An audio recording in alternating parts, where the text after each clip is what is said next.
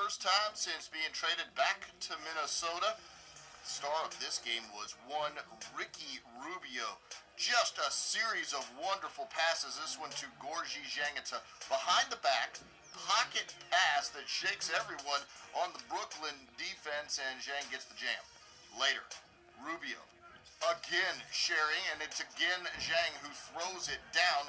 In Minnesota looking good early on. One more time, Rubio. He had 11 assists in the first half, this time passing to Karl Anthony Towns. 24 points, 10 rebounds for the number one pick in the draft.